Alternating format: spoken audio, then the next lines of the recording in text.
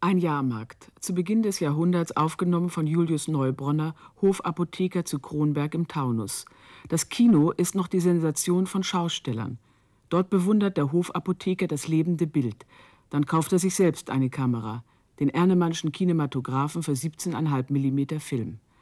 75 Jahre später kommentiert Karl Neubronner die Filme seines Vaters, der einer der ersten Kinoamateure Europas war.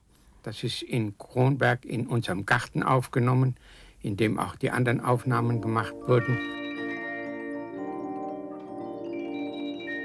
In diesem Garten war eine Bühne aufgebaut, auf der man vor Kulissen alles darbieten konnte, was nachher gezeigt wird.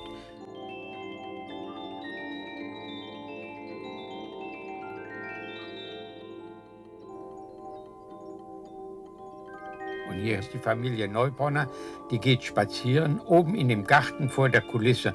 Das ist der Hausdien Hauslehrer und die Hauserzieherin und das ist mein jüngster Bruder.